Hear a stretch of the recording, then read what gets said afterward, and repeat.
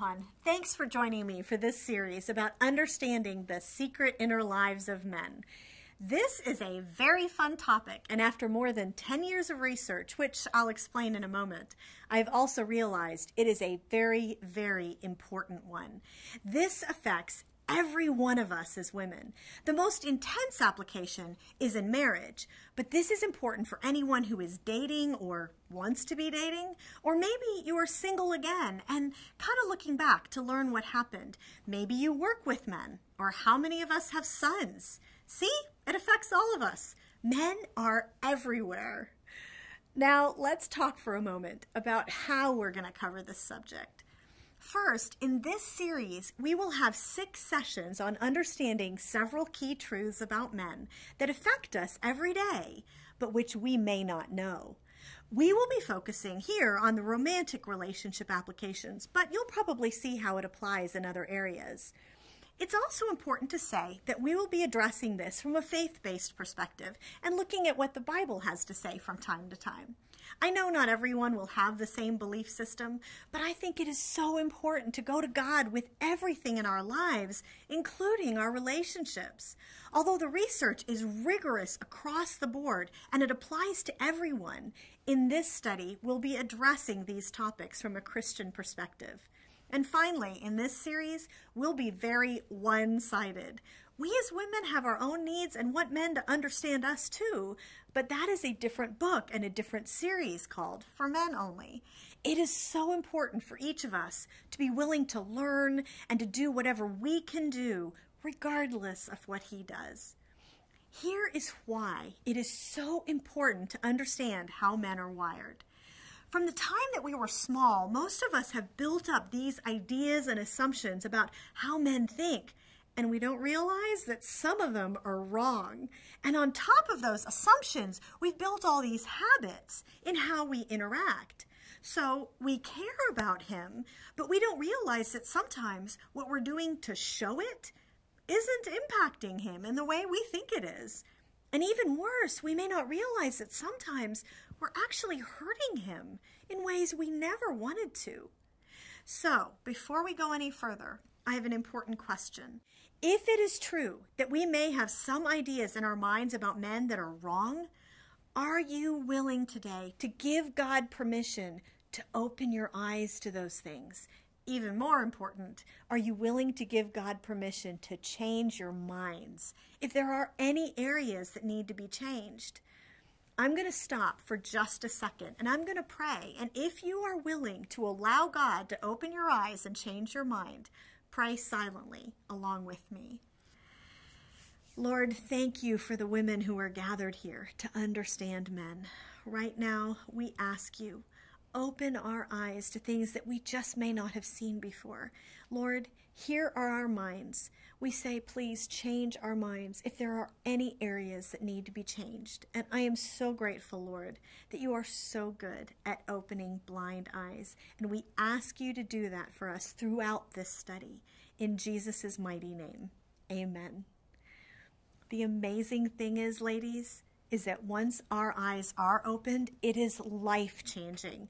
We can know what our man is actually thinking and feeling, avoid hurting him without realizing it, and love him in the way he needs to be loved. Let me start by telling the story of how I got here, because originally I just stumbled over this stuff. I'm an analyst by training. I have a graduate degree that's very analytical. I started out working on Wall Street, and when my husband Jeff and I moved from New York City to Atlanta, I had the opportunity to write a couple of novels.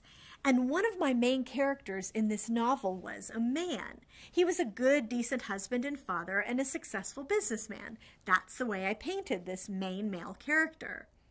And as a woman, you really realize how little you know about how men actually think when you have to write their thoughts. I couldn't just say what this male character was doing, I had to say what he was thinking. How do I know what a guy would be thinking in some pretty personal situations? And so initially, this whole thing started just because I started interviewing a few men. I'd ask Jeff, or we'd be out to dinner with another couple, and I'd say, okay, here's this scene in this book. what would you be thinking if this was you in this situation? And often, as these guys started telling me what they'd actually be thinking, I'm going, Really? That's what you're thinking? And then I realized it wasn't just that it was surprising. What I was hearing was so foundational. This wasn't stuff that these men said that they thought or they felt off in a corner once every three months. These were things the men said that they thought or felt every single day, multiple times a day. And at that point, Jeff and I had been married about eight years, and I'm thinking, why have I not heard this before? So then I started digging into it some more, and it did become a giant research study. I did the research about men for for women only, and then together Jeff and I did the research about women for for men only, and then a study for parents about their kids and several for teenagers. So the information that I'll be sharing with you is based on 10 years of research with more than 5,000 men, including four nationally representative surveys. So, what you're hearing isn't my opinion. Now, that said, I'll also be making generalizations, and there are always exceptions. If 75% of men said one way, by definition, 25% didn't. Everyone is an individual. Sometimes a couple will be flipped on certain issues. The key is to understand the man in your life. So, let's dive in and start talking about men, those things we don't get, but that they really wish we knew.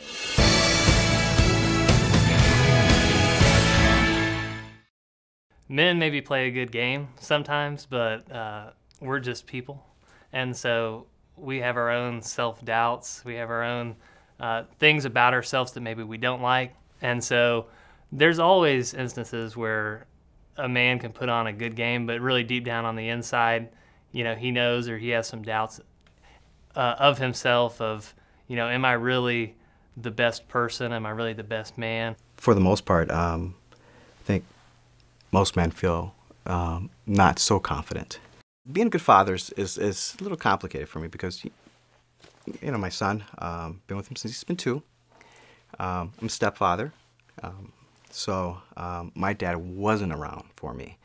But it's, it's challenging because didn't have that guidance. Am I doing right? Am I doing wrong? So I kind of have to go by how he's, what he feels, what he says, how he reacts to me. I, I will tell you that it's okay for a woman to be strong, and most strong men will appreciate that. The misconception I've found is that most women assume that all men or most men are strong because they're physically strong and they're meant to be the head of the home and lead and all the macho things. However, on the inside, a lot of men, well, most men have self-doubt. We have issues with confidence. Latin culture as being more macho, machismo. Um, I think uh, men in general are raised up that you're not supposed to show your feelings, you know, or act out your feelings. Uh, is it okay to talk about them? Absolutely not. You know, can I cry? No way. So it's hard to open up and, and let that, um, let you feel weak. You know, like, hey, I'm sad. I feel love for you. Does it make me less of a man? You know, hopefully not. You know, but again, if it's it's kind of built into you, like, don't do that. You're not supposed to do that. When you get in an argument and then something hurtful is said, I would say my first reaction is get angry. But really, anger is just sadness turned inside out. I mean, it, it is um, because I'm so vulnerable to this woman that I love so much that you know it's just like I want to be able to tell, say to her, you can't say those things to me because really you're breaking my heart. I need your support. I need your affirmation. I need your respect because that's really what, um, you know, what kind of gets me going every day. For the rest of this session, we're going to cover an important topic that sets the stage for everything else. It turns out there is a great difference between how men look on the outside and how they feel about themselves on the inside. Men look so confident in themselves. In fact, we think he looks a little too confident in himself. He could be taken down a peg or two. But on the inside, men have so much self doubt and a vulnerability that we don't even know is there. The way the men described it to me, they feel like, I want to tackle a challenge. I want to do great things. I want to be a good husband, a good father, a good worker, or whatever. But I'm really not sure I know exactly what I'm doing, and I hope nobody finds out. Essentially, that self doubt is a bit like a raw nerve and it's painful. And we can hit that nerve without having any idea that that's what we're doing. As I talk to so many men, here's what this insecurity feels like in the heart of every man. Do I measure up? Do I have any idea what I'm doing as a husband? Am I any good as a, a provider or a father? And they are looking to the most important woman in their life for the answer to that question. And this applies even to the most seemingly successful, confident men. I interview men everywhere I go. Heaven help the poor man stuck next to me on the airplane for two hours. And I heard this from the vast majority of them and saw it on all the surveys. Just a couple of weeks ago, the man sitting next to me on the airplane was the CEO of this huge, very successful company. Under his leadership, this company has won so many awards for how well they treat their employees. It's one of the reasons the company is so successful. But as we got talking about these subjects, guess what he said? He said, I am always thinking someone is going to find me out, that I'm an imposter. Someone who can see what I'm really able to do is going to come into my big executive office and say, You don't belong here. You don't have any idea what you're doing. He was this incredibly successful man, and he said this was always in the back of his mind. And he also pointed out what many men told me, which is that this self doubt is not just at work. So many men said that they just want to know how to make their wives happy. But as one man put it, we want to be a good husband. We want to be a great dad, but we may not have had a great role model, and there's no guidebook. So we just try to fake it, and we are desperately hoping we can make our wife happy and that she thinks we're doing a good job, which is why we can be so sensitive when we think she's saying we're not doing a good job. As I talked to these men, I realized that we women don't see how often we hit that raw nerve and send the signal that a man finds most painful of all. No, you don't measure up. And as a matter of fact, I think you're inadequate. That is just something that kills a man and it runs under the surface in many topics we will cover in this series together. So, what is it that hits that raw nerve? This is something that we do a lot without realizing it, and we can be so confused why he's upset. Here's one overall rule often it's not just what we say, but how we say it that matters. One man told me, okay, I'm going to give you a rule. This is from me to the women of America. And I said, okay, go for it, buddy. He said, anytime a woman starts a sentence with, why did you dot dot dot why did you make that decision like why did you take the kids out so late at night the man said in the man's mind on the end of that sentence just add a comma you dodo why did you do that you dodo when this guy told me this, I said, But that's not what we're saying. And he said, Yeah, but that's what we're hearing. And I said, Okay, you're going to have to help me on this because what do we say instead? If I need to ask why, I need to ask why. What do I say?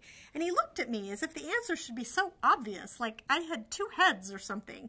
And he said, how different would it be if you said, I know you must have had a reason for that. Can you help me understand what it is?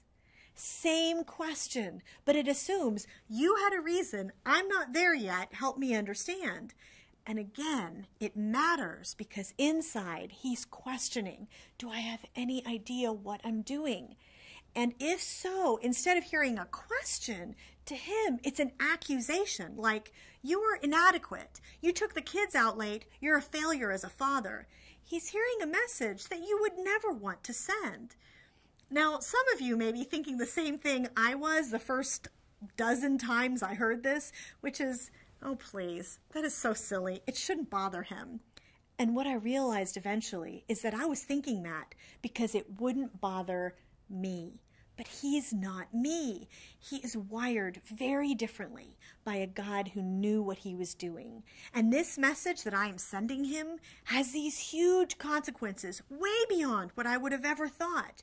In fact, some women have been confused why their husband would say, I feel like nothing I do is ever good enough for you.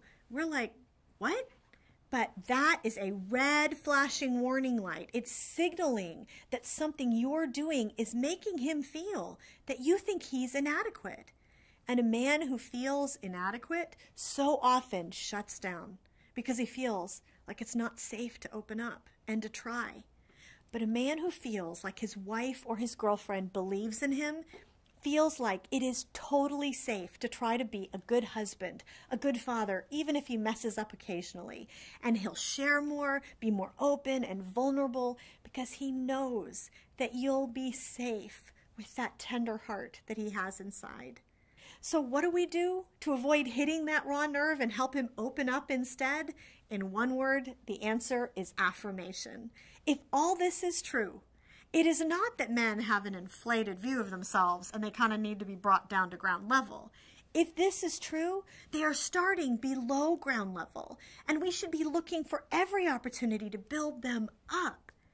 So learn what sends your man the signal that I think you're inadequate and avoid it. Instead of, why did you keep the kids out so late? Approach it like, I know you knew the kids have an early morning, honey. I'm concerned. I'm confused why you kept them out late.